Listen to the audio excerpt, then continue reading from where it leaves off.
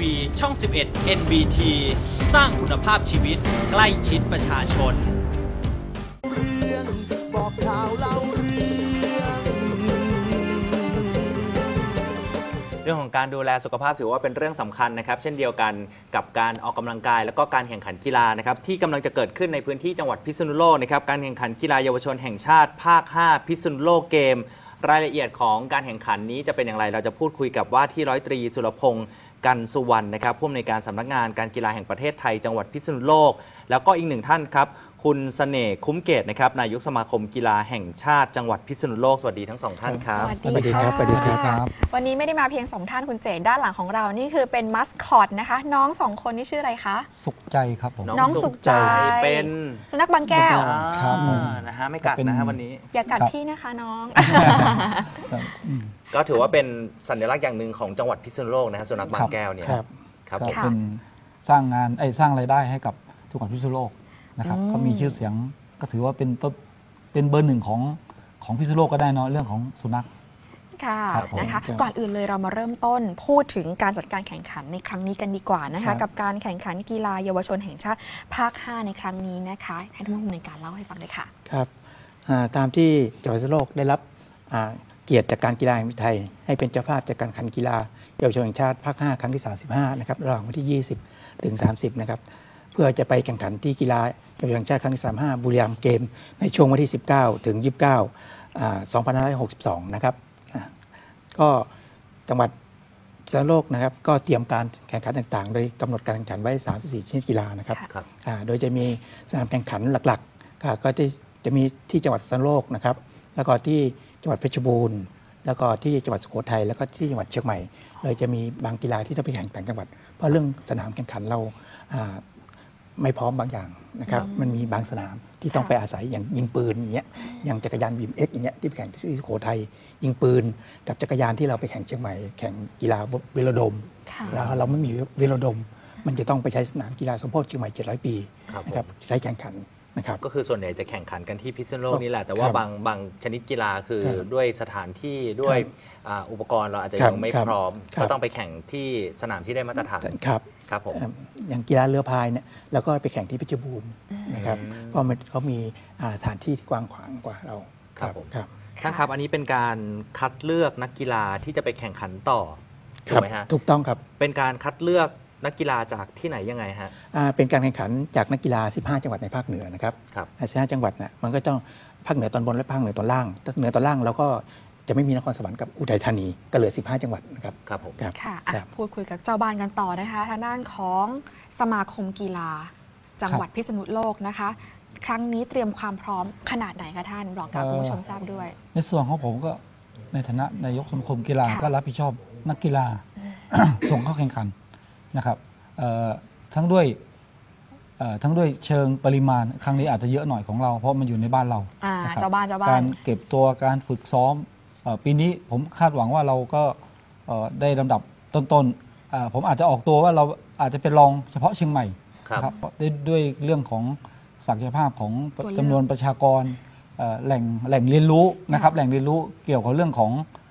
เอ่อเรียกศูนย์ศูนย์กีฬาเอ่อของเราภาคเหนือมันจะไปอยู่ที่เชียงใหม่เอ่อบ้านเราเรื่องขององค์ประกอบ อันนี้คือองทุค์กประชบขงนิแหดล่งกีฬาเลยใช่ไหมที่ท่านพูดถึงเนี่ยหรือว่าเป็นกีฬาประเภทไหนครับเอ่อ ทุกชนิดกีฬานะครับหมายถึงว่าของเราเนี่ยผมผมอาจจะออกตัวเป็นรองเฉพาะเชียงใหม่ครับเอ่อนอกนั้นของเราสู้ได้หมด ดาวนะครับเด่นของเราให้โฟกัสเจาะไปที่ตรงไหนดีคะกีฬาประเภทไหนที่เราแบบว่าอื้อหือปรบมือดังๆละคราวเอ่อนี้ ก็คงจะเป็นมวยนะครับหนึ่งอ๋อมวยสองเอ่อยูโดสามจักรยานนะครับที่ที่ที่เรามีเรามีผลงานน่าจะติดรางวัลแน่ครับก็คือที่ผมกล่าวถึงก็ติดทีมชาติเลย ๆอ่าติดทีมชาติเลยนะครับครับ ติดทีมชาติเอ่อบางเอ่อที่ผ่านมาก็ ไปต่อยในตัวแทนทีมชาติก็ดี ไปแข่งจักรยานทีมชาติก็มีแล้วก็เทควันโด แล้วก็ยูโด ซึ่งซึ่งผลงานเป็นที่ประจักษ์นักกีฬาของสมาคมกีฬานะครับ ซึ่งเครื่องการกีฬาแห่งประเทศไทยได้ออกกฎเกณฑ์เรื่องของสถิติเรื่องของการพัฒนาการ ซึ่งของเราได้รับนักกีฬาเข้าสู่โครงการ Sport Heroซึ่งซึ่งนักกีฬาก็จะมีเงินรายได้ประจำเดือนขณะในการโค้ชก็มีรายได้ประจำเดือน ซึ่งซึ่ง ซึ่งไอ้จุดเนี้ยขวัญและของกำลังของเราได้ใจเยอะเลยนะครับครับ ครับพอครับแบบนี้เราจะคัดอะไรยังไงฮะสำหรับการแข่งขันครั้งนี้ที่พิษณุโลกครับ อ่าเราจะเอานักกีฬาที่ได้ระดับหนึ่งระดับสองอ่าไปแข่งขันในกีฬาแห่งชาติที่บุรีรัมย์นะครับกีฬาเยาวชนแห่งชาตินะครับอ่าที่คลังสามสิบห้านะครับของแต่ละภาคนะครับไปนะครับ อย่างภาคภาคภาคเหนือเราคือภาคห้าครับ นะครับเราเอาที่หนึ่งที่สองไปครับอ่า ทีมที่ได้ที่หนึ่งที่สองหรือบุคคลที่ได้อันดับหนึ่งอันดับสองไป ก็คือแต่ละชนิดกีฬาเนี่ยครับเอาไปแค่ 2 อันดับเท่านั้น ครับหนึ่งกับสองครับ นะฮะสามนี่ติดสำรองไหมฮะ ก็ก็จะมีคอ d ิฟายอีกครั้งหนึ่ง ก็ต้องดูจาก 5 ภาคนะครับ อย่างประเภทสถิติอย่างว่ายน้ำเนี่ยกรีฑาอย่างเนี้ยครับอ่า ก็ต้องดูคอ d ิฟายอีกครั้งหนึ่งว่าสถิติไปได้ไหมครับ ต้องมารวมดูของ 5 ภาคดูก่อนอืมครับนะคะครับและสำหรับสนามการแข่งขันนะคะ คนก็จะโฟกัสไปที่สนามกีฬากลางแข่งอยู่ที่สนามกีฬากลางที่เดียวไหมคะหรือว่ามีกระจายพื้นที่อื่นบ้างครับท่านผู้ชมจะได้ตามไปเชียร์อ่าในจังหวัดพิษณุโลกนะครับเราก็จะมีสนามที่สนามกีฬากลางนะครับที่มหาลัยราชภัฏพิบูลสงคราม แล้วก็มหาลัยราชมงคลล้านนากับพิษณุโลกนะครับที่เป็นหลักๆนะนอกนั้นก็จะเป็นที่สามโรงเรียนอ่าอนุบาลครับอ่าเรียน เทศบาลตำบลหัวลอนะครับพวกเนี้ยครับที่เป็นสนามที่ใช้แข่งขันตอนครับนี้ความพร้อมของแต่ละสนามเป็นยังไงบ้างครับ ก็ความพร้อมของแต่ละสนามตอนนี้ก็อยู่ประมาณแปดสิบเก้าสิบนะครับเปอร์เซ็นต์ครับอย่างที่กีฬาที่แข่งขันก่อนแล้วก็ร้อยเปอร์เซ็นต์แล้วนะครับค่ะอย่างกีฬาที่จะแข่งขันในช่วงต้นมีจะมีช่วงต้นช่วงกลางช่วงปลายครับอ่าแล้วก็เตรียม อย่างสมมติว่ากีฬาบางอย่างแข่งช่วงต้น แล้วจะมีกีฬาต่อเราก็ต้องปรับสนามใช่ไหมครับ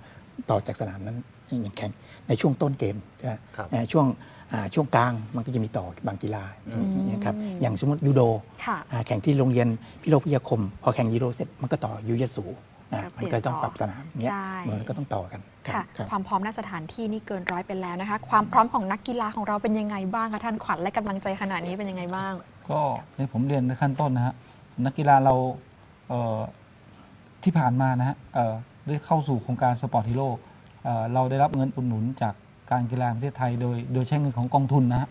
ของเราได้เขาเรียกอะไร มีผลงานเป็นที่ประจักษ์เราได้รับงบประมาณก้อนก้อนโตเลยนะครับแล้วก็นักกีเอ่องบประมาณก้อนนี้ก็เข้าไปสู่นักกีฬาโดยตรงโค้ชโดยตรง ซึ่งตรงนี้แหละมันจะเป็นสิ่งสิ่งบอกสิ่งเออเขาเรียกตัวชี้วัดนะครับว่านักกีฬาเราหลังจากที่ที่อะไรที่พูดกันบ่อยว่าโอ้โหไม่มีเงินไม่มีใครดูแล ซึ่งซึ่งปัจจุบันเนี่ยเข้าผลงานมาแรก ซึ่งซึ่งผลงานตัวเนี้ยเอ่อทุกคนก็ทำทำเป็นที่ประจักษ์ละแล้วก็มีค่าตอบแทนมีเอ่อมีเงินรายเดือนให้แล้วล่ะ เพราะฉะนั้นตัวนี้ก็ต้องแลกกันว่าในปีถัดไปเอ่อหลังจากที่คุณได้รับการดูแลแล้วนะคุณจะเอ่อทำผลงานได้ต่อเนื่องไหมดีขึ้นไหม ซึ่งมันก็มีผลต่อปีข้างหน้า เพราะฉะนั้นผมก็รับปากได้เลยผลงานเราดีนะครับ ทั้งเรื่องของขวัญกำลังใจ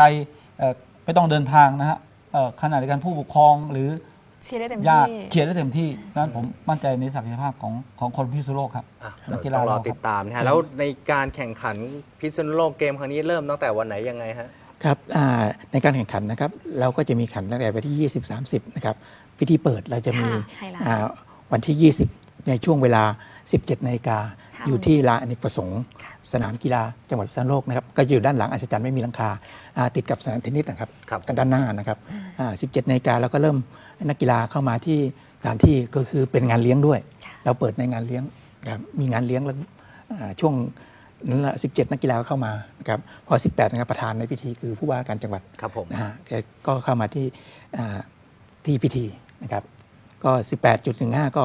พิธีกรก็เชิญต่างๆนะครับมีการแสดงมีอะไรต่างแล้วก็เริ่มพิธีไปตามพิธีการต่างๆ จนจบอ่าพิธีเปิดการแข่งขันแล้วก็มีงานเลี้ยงต่อนะคครัรับบผมก็คือพิธีเปิด 20 ตุลาคมคือวันพรุ่งนี้นี่นั่นเอครังบครับนะครับในช่วงเย็น แล้วก็การแข่งขันกีฬาเนี่ยมีไปจนถึงวันที่ 30 ตุลาคมครับก็มีบางกีฬาที่เริ่มแข่งขันตั้งแต่วันนี้อย่างครับบิบิดที่โรงเรียนอ่าโรงเรียนพุทธนะครับอ่าเริ่มแข่งวันนี้นะครับครับครับท่านเพิ่มเติมชมรมเกี่ยวกับเชียร์เรื่องของพิธีการอะไรไหมฮะครับก็ตอนนี้ก็ เอาอุบไปก่อนนะครับอ่าแต่อุบไปก่อนว่าค่ะต้องไปดูในอ่าในในวันเปิดพวกนี้ครับผมอีกทีหนึ่งว่าเราจะมียังไงบ้างวิธีการยังไง อาจจะไม่ไม่เหมือนการเปิดการแข่งขันครั้งที่ผ่านมาครับเพราะเมื่อก่อนนี่เราเปิดที่สในสนามใช่ไหมครับค่ะแต่ตอนนี้เราปรับเปลี่ยนรูปแบบมาครับแบบนี้แล้วอย่างปีก่อนๆมีพี่น้องประชาชนไปชมพิธีเปิดไปร่วมงานเปิดการแข่งขันกีฬาเยาวชนแห่งชาติแบบนี้ ครั้งนี้เปิดในงานเลี้ยงประชาชนทั่วไป จะอยากจะเข้าเข้าไปไปได้ไหม ร่วมพิธีอย่างนี้จะได้ไหมฮะ ครับก็ดูอยู่อยู่บริเวณได้ครับด้านนอกครับ แล้วก็จะมีครับ เพราะด้านในเราจะให้แต่นักกีฬาเข้าครับอืม นักกีฬาเขาแต่ละจังหวัดเขาครับค่ะ เรามีที่ให้นักกีฬาจังหวัด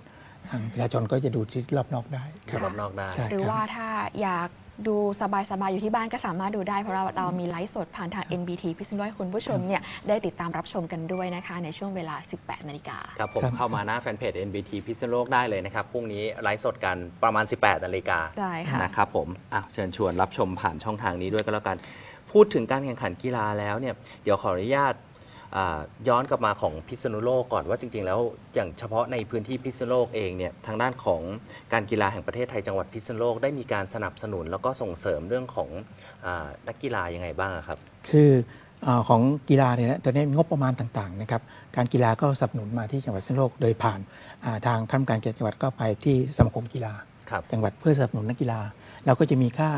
อ่าใช้จ่ายต่างๆ นักกีฬาค่าพี่เลี้ยงค่าเดินทางต่างๆนะครับสำหรับนักกีฬาที่จะเข้าร่วมการแข่งขันกีฬาเยาวชนแห่งชาติ หรือกีฬาแห่งชาติหรือกีฬาคนพิการต่างครับๆหรือโครงการ Sport Hero หรือโครงการพัฒนากีฬาเป็นเลิศนะครับคือการกีฬาจะสนับสนุนมาที่อ่าจังหวัดและก็ผ่านอ่าที่สมาคมกีฬาจังหวัดครับแต่ละจังหวัดครับคือสนับสนุนเป็นเงินครับนะฮะแล้วมีเรื่องมีขอโครงงการองค์ความรู้มีโครงการอะไรบ้างครับที่ เราทำอยู่ตอนนี้ก็ก็ก็จะมีโครงการอบรมวิทยาศาสตร์การกีฬาครับที่ผ่านไปแล้วก็อบรมผู้ฝึกสอนกีฬานะครับมันจะมีผู้ตัดสินกีฬาเนี่ยงบประมาณก็จะไปตามโครงการที่เราเสนอขึ้นไปครับ ค่ะ แล้วก็อีกหนึ่งประเด็นถามท่านนายกสมาคมนะคะเพื่อมีผู้ใหญ่ใจดีบริษัทห้างร้านนะคะหรือว่าภาคประชาชนทั่วไปนะคะอยากจะสร้างขวัญและกำลังใจให้กับน้องๆ ทีมนักกีฬาของจังหวัดพิษณุโลกนะคะไปมอบของขวัญให้น้องได้ไหมนะคะ หรือว่ามีปัจจัยอื่นๆ อยากจะมอบให้น้องเนี่ยสามารถทำได้ไหมคะเอ่อองค์กรไอของสมาคมกีฬานะฮะเอ่อมันมันมีพรบกีฬา การการการสนับสนุนกิจกรรมเกี่ยวกับกีฬาสามารถนำไปลดหย่อนภาษีได้ นะครับได้ได้สองเท่าเลยนะครับ เช่นบริจาคหนึ่งพันบาทนะครับ ก็สามารถเอาไปลดหย่อนได้สองเท่าก็คือ 2,000 บาท นอกจากได้บุญแล้วยังได้ลดหย่อนภาษีด้วยครับก็คือคือการการสร้างคนนะฮะการสร้างคนอาจจะไม่ได้เห็นผลในวันวันนี้นะฮะแต่เวลาเด็กเขาโตไปแล้วนะครับเขาก็จะมาตอบแทนสังคม ซึ่งซึ่งมีในหลายคนนะฮะที่เขาโตแล้วเขาแข็งแรงแล้ว หลังจากประสบความสำเร็จในการเล่นกีฬา ซึ่งการประสบความสำเร็จก็ จะนำไปสู่ชื่อเสียงเงินทอง แล้วก็เขาเรียกอะไรสถานที่ทำงานอืม นะครับ ก็เราได้เห็นบ่อยๆนะครับ นักกีฬาเนี่ยนะครับเอ่อฝากข้อคิดนิดเดียว คือพอคุณประสบความสำเร็จแล้วเนี่ยเอ่อทุกอย่างมันก็จะตามมานะครับ แต่การเริ่มต้นคุณต้องอดทน อดทน พอคุณอดทนแล้วประประสู่ความสำเร็จทุกอย่างมันก็จะตามมา แต่การเริ่มต้นน่ะบางทีเรียกร้องละเริ่มต้น ครับ เหนื่อยนะครับบางทีเรียกเรียกร้อง พอเริ่มก้าวสู่ปุ๊บก้าวสู่ เป็นนักกีฬาเอ่อผมจะต้องได้อะไรบ้างหนึ่งสองสามสี่ห้า อืม กับโอกาสที่จังหวัดให้อันนี้สำคัญกว่านะครับ คุณคุณเก่งแต่คุณไม่ได้มีเวทีเนี่ยหลายๆจังหวัดนะฮะมาขึ้นทะเบียนที่บ้านเราผมไม่รับ เพราะว่าเขาจังหวัดจังหวัดเขาเขาอาจจะสู้ในจังหวัดเขาไม่ได้ ก็หาสถานที่มาเล่น เพราะเขาต้องการเวที ครับ การการมีเวทีแสดงออกของนักกีฬาเป็นเรื่องยิ่งใหญ่นะครับ พอคุณได้ประสบสำเร็จในเวทีเนี่ยแล้วก็ ได้พี่อะเขาเรียกอะไรได้มีโอกาสแสดงออก ได้มีโอกาสพัฒนาไปข้างหน้ายกตัวอย่างไปติด ติดทีมตัวจังหวัด ติดตัวทีมภาค ติดทีมชาติไทยนะไอ้นี่มันก็จะมีโปรไฟล์อย่างเช่นไปเรียนต่อเอ่อหรือไม่ก็ไปทำงานเนี่ยเขาก็จะพิจารณาจากผลงานของของพวกเราเอง ครับผมอะอันนี้เบื้องลึกของค่ะวงการนักกีฬานะใช่ฮะก็ส่วนหนึ่งมาเล่าให้คุณผู้ชมฟัง อืมอย่างน้อยละหนึ่งเลยคือคุณต้องมีความตั้งใจ มีความอดทน มีความมุ่งมั่นขยันซ้อม ใช่เดี๋ยวสิ่งต่างๆ จะตามมาเอง เรื่องของอารายได้ที่จะเข้ามาเรื่องของโอกาสที่จะได้มีเวทีในการแสดงความสามารถ ใช่พอพูดถึงเรื่องกีฬาแบบนี้แล้วอยากทราบครับว่า นอกจากทางด้านของการกีฬาแห่งประเทศไทยเนี่ยส่งเสริมนักกีฬาที่จะไปแข่งขันเป็นตัวแทนของจังหวัดแล้ว มีการส่งเสริมการเล่นกีฬาของพี่น้องประชาชนทั่วไปบ้างไหมฮะ ในพื้นที่ คือเรื่องนี้มันจะมีสอง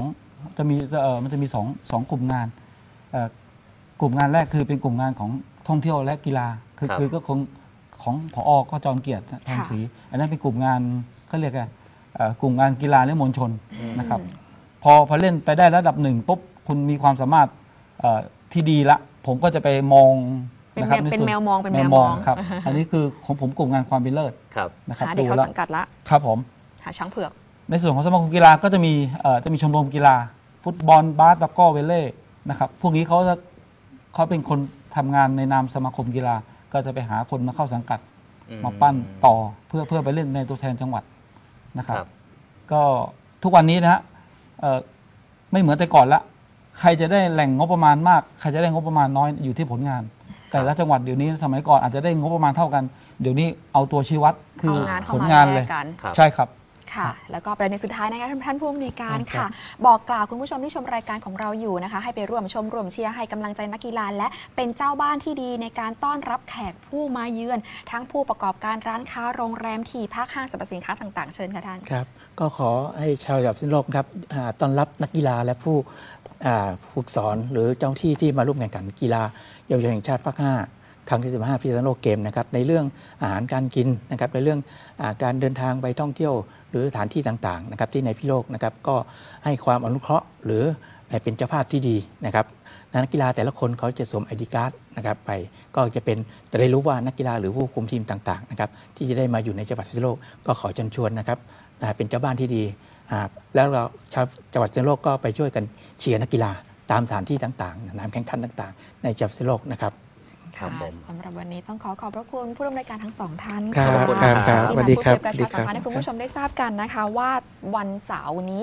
20-30 ตุลาคมค่ะ เราจะมีการจัดการแข่งขันกีฬาเยาวชนแห่งชาติภาค 5 ขึ้นที่จังหวัดพิษณุโลก เพื่อคัดเลือกตัวแทนเยาวชนนะฮะจากในพื้นที่ 15 จังหวัดภาคครับเหนือไปแข่งขันในระดับประเทศต่อไปนะครับ เดี๋ยววันนี้เราลาคุณผู้ชมไปด้วย 3 บุคคล ค่ะ บุคคล 3 ประเภทที่เราควรเอาตัวไปอยู่ใกล้สามคนนะๆ นะฮะว่าเอ๊ะต้องเป็นคนแบบไหนยังไง เราถึงควรไปอยู่ใกล้ๆนะอยู่ฮะ ใกล้ๆ แล้วมีความสุขทิ้งท้ายวันศุกร์แบบนี้แบบสุขทางกายและสุขทางใจสำหรับวันนี้พวกเราทุกคนต้องขอลาไปก่อนพร้อมน้องสุขใจด้านหลังด้วยนะคะ สวัสดีค่ะ สวัสดีครับสวัสดีครับ สามคนนะที่เราควรอยู่ใกล้ในช่วงชีวิตหนึ่ง เราจะเจอผู้คนมากมาย